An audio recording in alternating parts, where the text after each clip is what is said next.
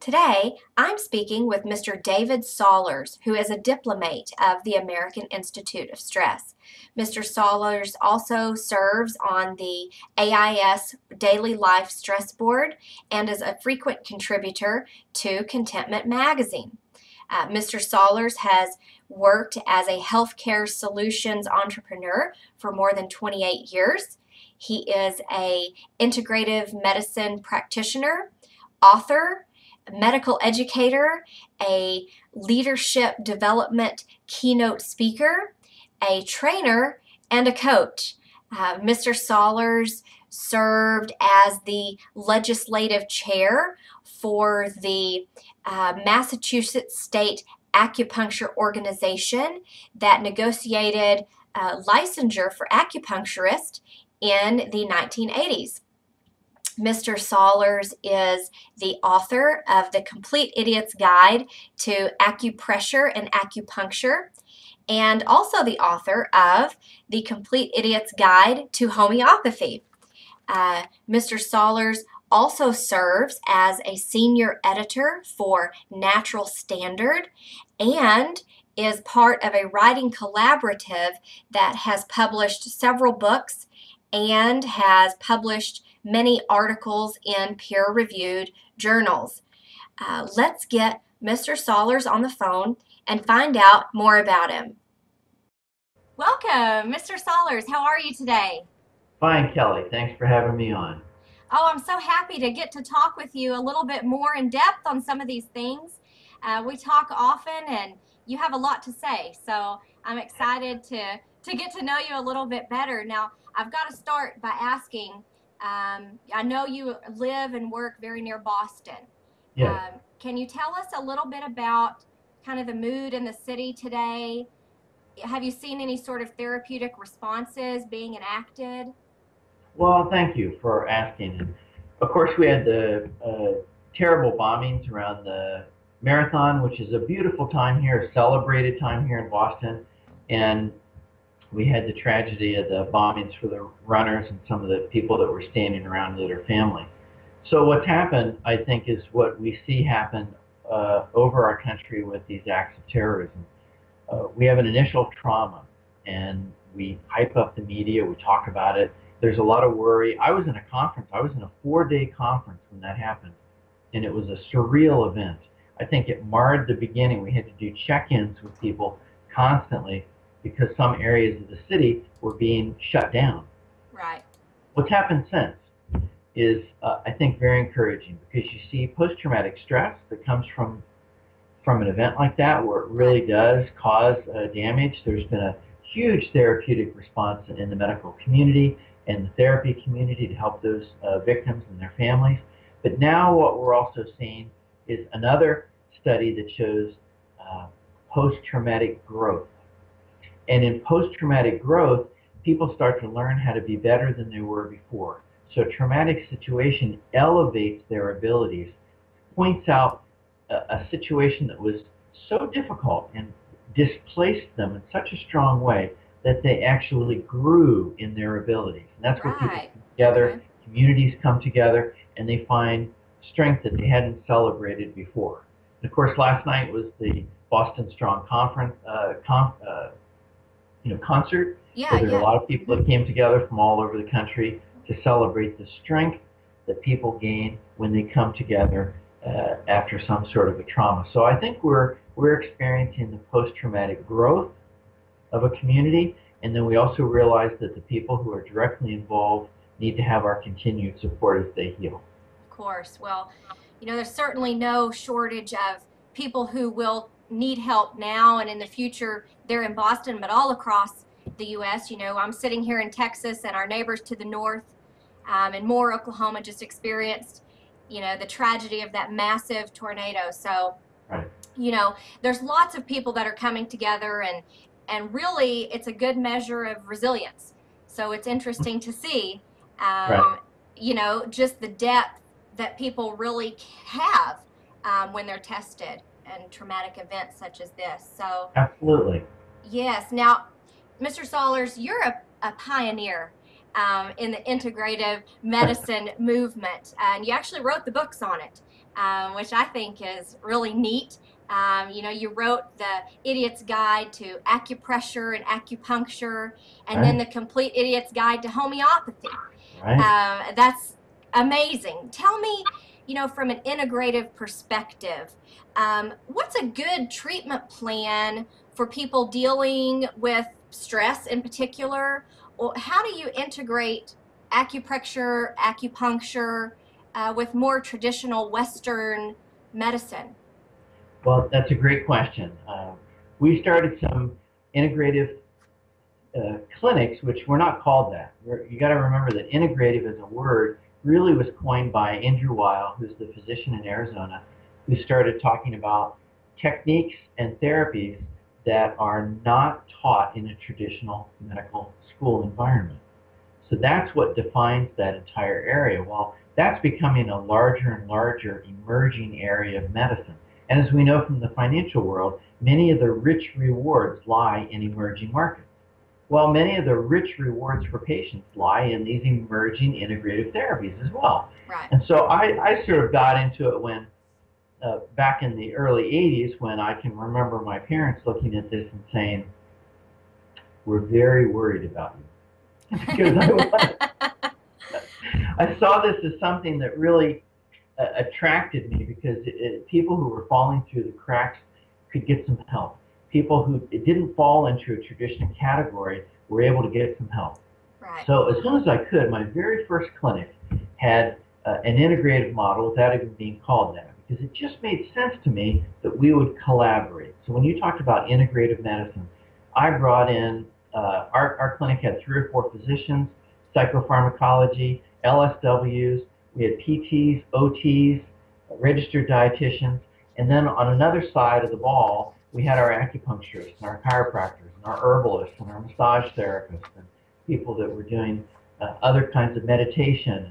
Uh, and what we would do is get together and say, what's the, without saying patient-centered care, which is another word that didn't exist, but we would say, without any boundaries, without any turf warfare, what would you do to help this patient? How do you see this situation and what would you do?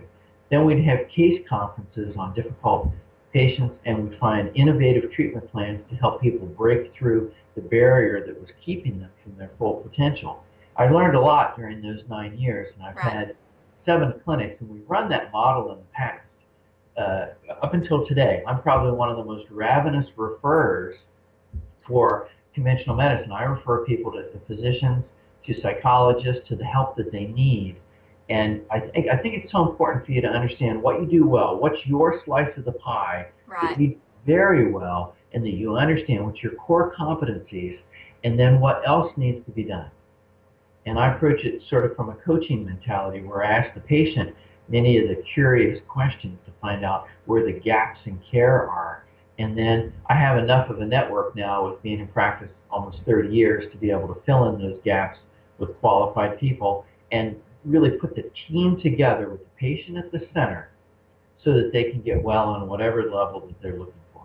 Right, right. Well, you know, at AIS, we're completely in support of an integrated uh, health and wellness plan um, approach to complete whole body wellness. You know, our fellows and diplomates such as yourself have been at it um, over 35 years, uh, researching approaches such as um, CES, which is the electromagnetic uh, cranial stimulation. Um, Really? Yes, you know, our president, uh, Dr. Kirsch, actually invented the Alpha-Stim device that uses this electromagnetic therapy, these tiny uh, microcurrents of electricity, um, to treat things like anxiety, depression, pain, insomnia. You know, but I don't know if you know this, but before he invented that device, he started out as an acupuncturist. And many of the ways that he uses this device is those acupressure and acupuncture points. Um, and Yep. so he's, you know, been at this 30 years just like yourself. And I've heard a lot of the stories of how this field emerged and kind of the early resistance and how the tides are changing and things are starting to shift.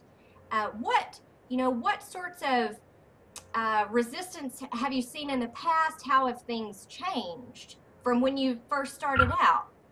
Well, I, I think things have changed uh, considerably, and then in one area, not so much. And I'll tell you what those are. So I've had some great conversation with Dr. Kirsch about his early years doing acupuncture and acupuncture research, and he and I met on that place of those early years. You know, certainly back in the 80s, where new studies were coming out and innovation was coming out.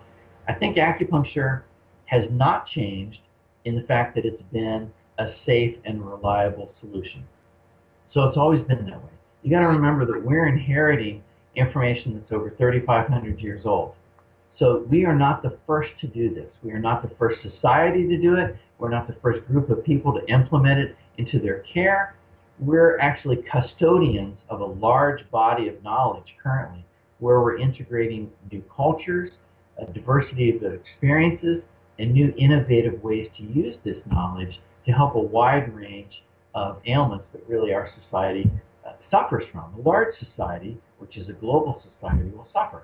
What I've seen is the resistance is that we no longer can afford to have ideas that are based on turf warfare.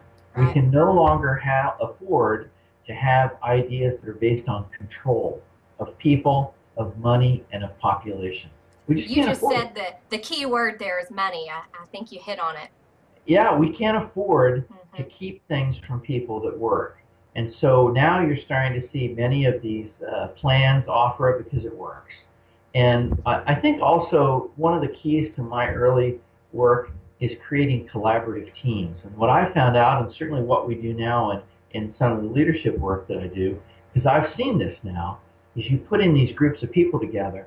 Collaboration is based on shared knowledge of somebody's expertise. Also, trust comes from understanding what they do, that they're quite good at it, and that you've had an actual personal experience where that person or that process has been a benefit to you personally. Now you build trust and there's a willingness to collaborate. So you come out of your silo. So we break down these silo systems because people have had these experiences with each other and then right. they're allowed to start to collaborate. So I think the collaborative model is the model of business now, and it's the model that medicine needs to have as well. Yes, you know, I, I definitely agree with those statements. I, I wonder, was this sort of um, beginning of, of bringing people together? Uh, you wrote the books, you know, you wrote the, the Complete Idiot's Guide. Was that an effort to bring this knowledge maybe more mainstream? What, what was behind writing these fantastic books? Well, thank you for the word fantastic. I, I, you know, they're still in print and, and yeah. they're they're on Kindle and you can buy them in a variety of places here. You know, we need to get them in the marketplace, by the way. Oh, thank you. so the idea is that uh, I wanted to have something to educate patients at a at a at a beginning level. You know, we needed a primer, and the Idiot's Guide series is great for that. Whenever you see something that's really emerging into the world you, you start to see idiots, guides, and dummies books come out because they want to educate a large population of people on something that works, a trend that seems to be working. Now, what's interesting about this is that this is now out in, it's 14 years this book has been out. So 14 years. Typically, idiots guides are out two to three years. And then you find them in some a dusty corner of the library. Right. But this continues to be an emerging story. So even though Dr. Kirsch and I have been doing this work for over 30 years, the American public and, and the global public is sort of waking up to the possibilities of what can I do myself? How can I put together a team of people? What's my part in this? Now, you got to remember that one of the things that drew me into integrative medicine in the beginning is that it was one of the early bastions of self-improvement, of personal development, of early organizational development what can a person do in their own team? So that was very attractive to me. The whole right. self-improvement business, the personal development, developing the self, helping organizations develop.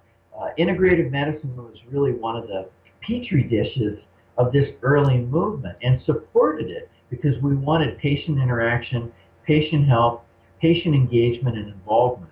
And, and, and sort of this is really why I wanted these books to be written and why I and there's several other books that I've written and they're all on the same area of letting people know what they can do, how they can better use Self empowerment. self. Exactly. Yeah, yeah. Yeah. Well, what do you see as the next step or the next phase um, as far as this integrative medicine movement? Where do you see it going in the next 10, 20 years?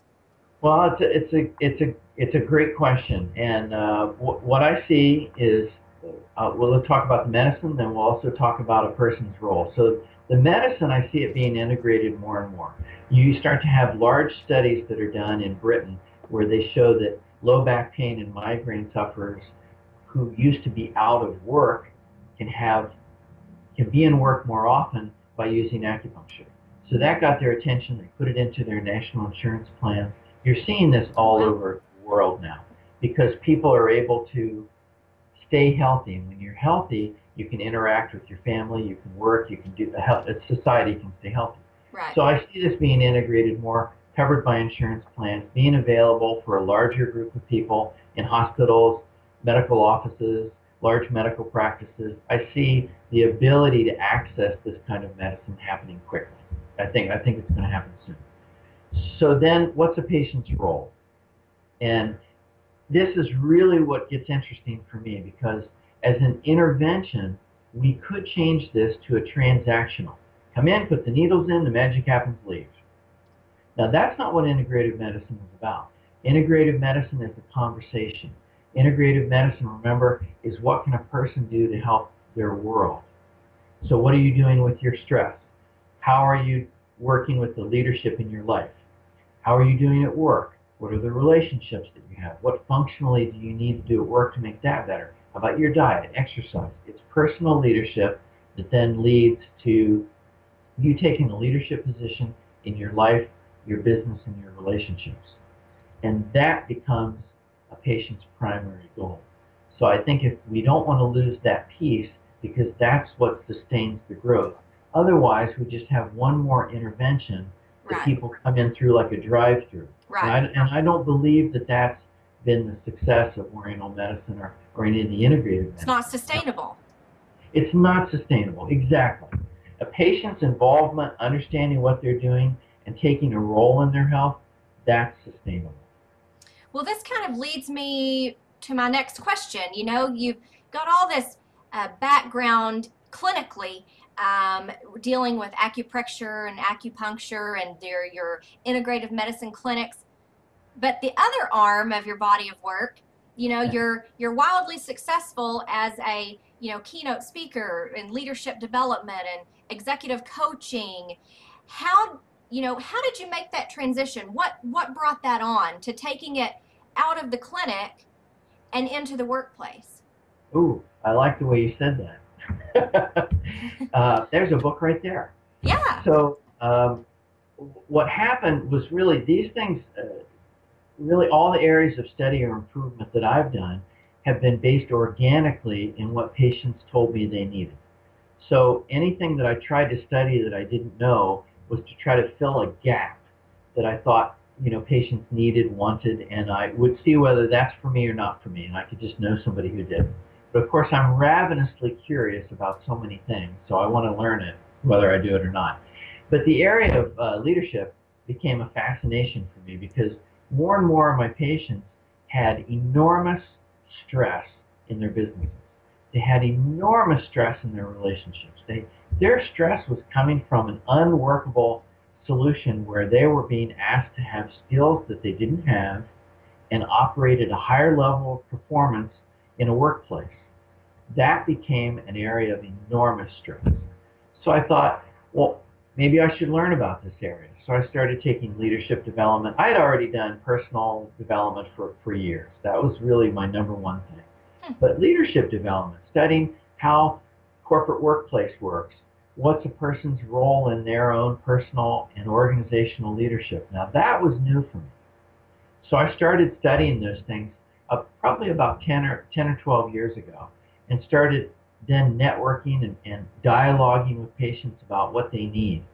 So then, of course, I'm a creative person, so I started designing programs and running them and bringing in other people to help me run some of these programs or working for other people to learn how they did organizational development, executive coaching, understanding that drawing information out of a client or, or uh, was really the best way to get this done and to find engagement with the client in the activity so they make it theirs.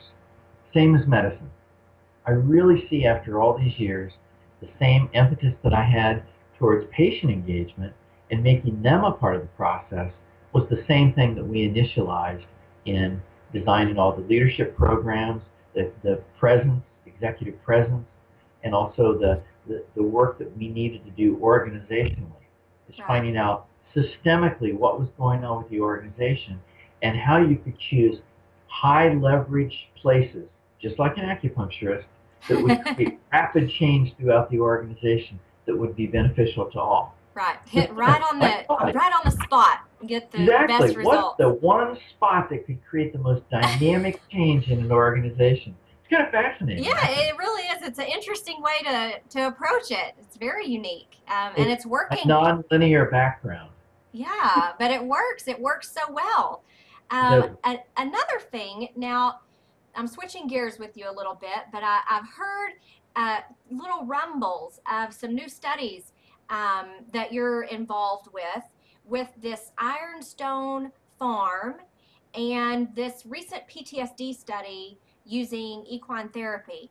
Now, uh, you got to tell me a little bit more about this and and what's your involvement there with Ironstone Farm? I can't imagine what how many hours in the day you've got left over after everything else you've done, but somehow um, you're making it happen. So I want to hear about that.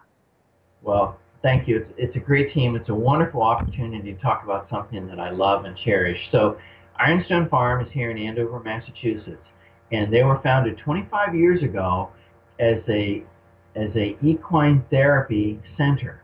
So what they do is they use horses to help heal uh, children and adults with different kinds of ailments. So currently, uh, my wife and I have been involved in the organization for about uh, 12, 14 years.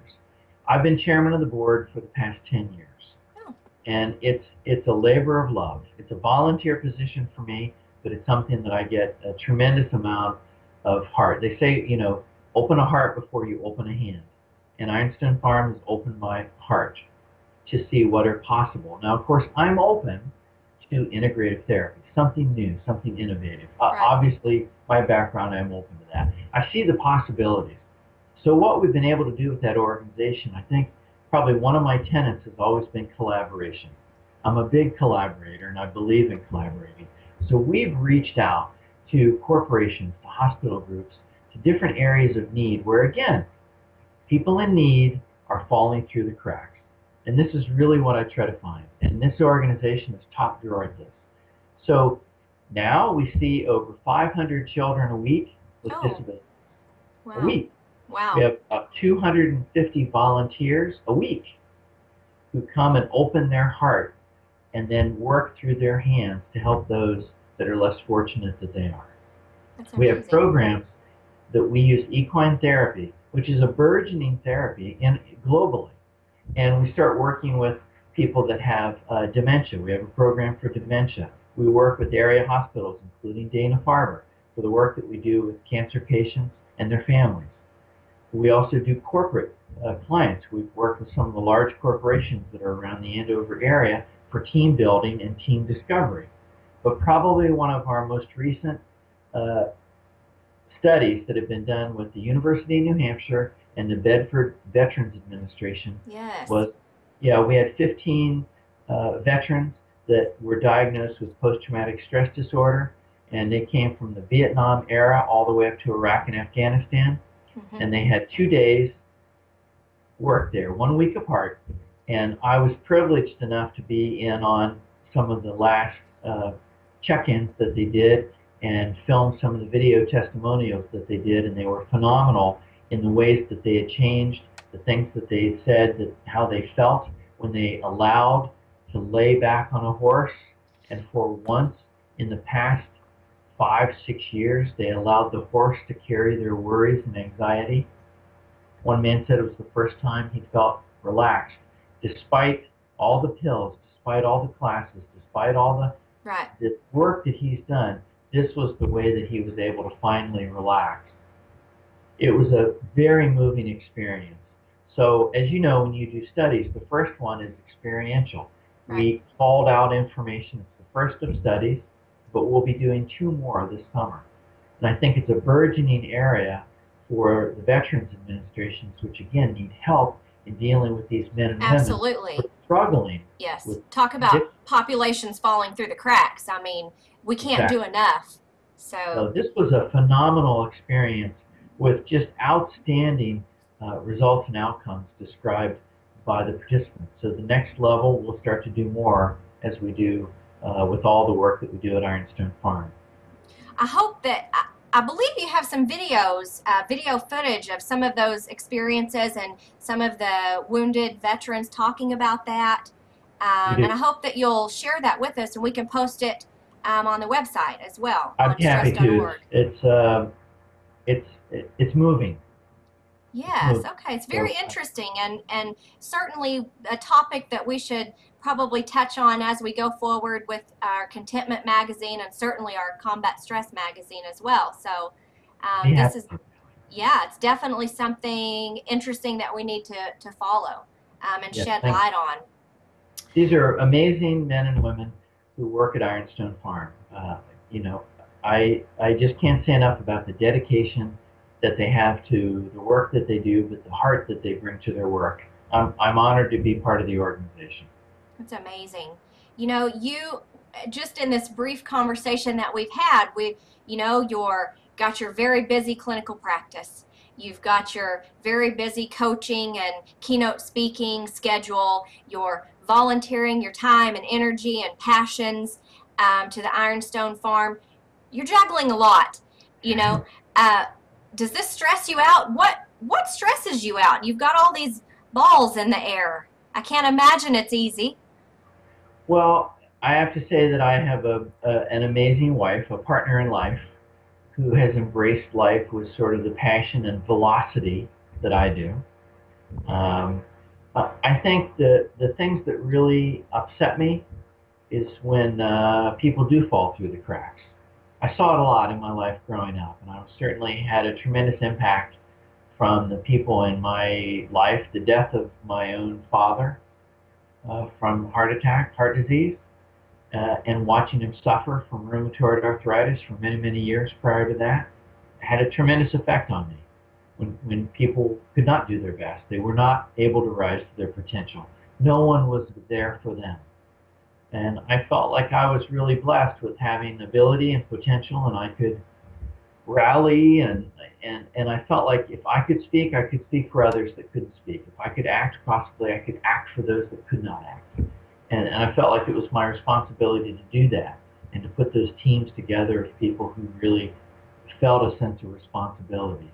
So I when I'm not able to move and act, that's just what stresses me out. When I see something that I'm not able to do, this is where I feel pent up and, and, and I get quite a bit of distress from that. Right. Well, do you have, other than just jumping into the world and taking action, you know, do you have a personal system, um, a set of techniques that are your favorite? Um, I know that you are a practicer of and teacher of Tai Chi and Qigong. Um, I might have said that incorrectly, did. It perfect. Oh, perfect. okay, good, good. So, you know, what what do you personally do in your day-to-day life to kind of help you manage this tension and this kind of pull back and forth between doing good and wearing out? Well, thank you for asking. There's two things that I do. Uh, one I've been doing for many, many years, and that's, as you mentioned, uh, part of my discipline is a background in uh, martial arts. So the softer side of that is uh, Tai Chi and Qigong, many different ways of doing that. Those things are moving meditations or silent meditations or still meditations. It's a way that I've learned over the years to quiet and center my soul, be able to listen to that inner voice so that I can really hear and understand my instincts. And that helps me from, from the frenetic pace that life can give us, or some of the uh, sort of vulnerable times that we find ourselves in. We can't stop it. We just have to learn how to surf it Right. So those two like that. Have that's another book, Kellie. So have have been able to really help me. I, a recent uh, place that I go to for comfort and joy is my uh, grandchildren. So we have four grandchildren, Ah, and when they come up and say, "Papa, read me a story," my entire stress disappears, and the only thing I focus on is this beautiful child and the story that we're sharing together.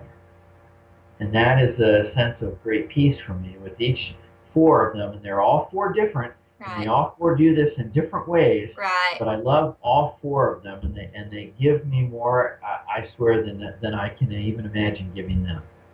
Good. Lots of family support, it sounds like. Yes, we're blessed. Yes, definitely. Definitely. Well, you know, you are a frequent contributor to our Contentment magazine, and we're so grateful for all of those um, articles and techniques that you share with us. What um, what is your idea of contentment? You spoke about spending time with your grandchildren, so I'm sure that part of the definition is in there. Have you ever found this this idyllic sense of contentment? Well, I've experienced contentment. Um, I, I mean, one of the blessings and a curse, right, is that I'm always looking for the next challenge. I'm always wondering where I can engage. I'm always trying to find out where I can help, where I can be effective. So you have to be also comfortable with being and be comfortable with understanding what you're doing currently and be okay with that. So that's where I struggle because I'm a doer. I'm interested in doing and but I'm trained in being. So this is the paradox that is my life. I Yeah. love being, but I also enjoy doing. That forward So- momentum. What I do is I pick metaphors. You know, I have a great partner, Rob Salafia, and we are story archaeologists. We go into companies and we find the hidden stories that are within their company experience and their brand, and then we help them dust them off and display their brilliance to the world. So one of the great things about these stories is that we're able to use metaphor a lot of times in our work. So, of course, you know from helping others, you help yourself. Exactly. So I found that different metaphors or images or visions are kind of a touchstone that I can have for my contentment, my peace. So I have several places that I've been in the world that I remember, and my brain instantly goes into that wonderful chemical spin where I produce those beautiful contented chemicals of that space. The tinkling of a waterfall, yes. the gentle sun on my on my body as I sit on the cool uh, blades of the grass, as I hear the river silently go by, and just the tinkle of the rocks in the stream, the glistening of the sun on the waterfall as it splashes over the hill. These are places that I go and I've learned to use, and that they can give me some profound relief, uh, relief whether I'm uh, on a street corner in New York City Right. or whether I'm sitting here in the office in between patients, uh, trying to pull it together after I've heard something, you know, either joyous so or something incredibly sad. right. You have to go into the, you have to open the door and be present for the next person. Is this where you draw your inspiration? You mentioned, I love this term, this story archaeologist. I think that's fantastic. you know, it's really interesting and it it tells a lot. You know, you really dig into people's lives and the root causes of why they do what they do and why they are the way they are. Is that where you draw your inspiration is from these countless people that you're trying to help? It's absolutely true. Um, I can tell you that we have uh, groups of patients and people both in uh, in patient care and also leadership development that have gone on to do some astounding things, and we have been the catalyst, sort of the little catalytic spark that ignites their fire of freedom. And that, being that catalyst, I get the biggest kick out of hearing from them and watching what they do in the world and this enormous potential that's, that's bound up in people. And if you can find a way to be that spark, then what they do and the stories they tell and the places they go and the lives that they touch, it makes it all worth it. The stories are amazing. Yeah, yes, it, it seems like it. And you know, your story is amazing, and that's that's part of the reason that we're doing this series of interviews, getting to know our fellows and our diplomates and our members, and really looking beyond all your credentials and the books on your wall, but who Yeah. you are and, and what led you to this place. You know, um, as a diplomate, you have jumped in at AIS and completely thrown your energy behind our mission, which is to take all this high level, intricate scientific data and translate it and share it with people in such a way that they can relate to it and it will resonate with them and cause this spark, as you mentioned, of change so that they can live a better life, you know?